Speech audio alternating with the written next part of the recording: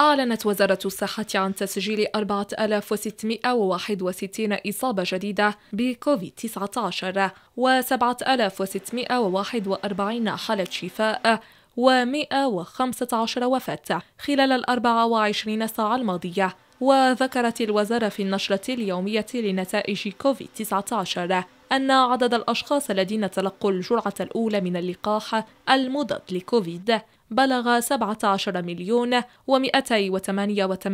ألف و54 شخصا فيما بلغ عدد الملقحين بالجرعة الثانية 12 مليون و911 ألف و722 شخصا. ورفعت الحصيلة الجديدة للإصابات بالفيروس. العدد الإجمالي لحالات الإصابة المؤكدة بالمملكة إلى 810949 حالة. فيما بلغ مجموع حالات الشفاء التام 724545 حالة بينما ارتفع عدد الوفيات إلى 11792 وفاة.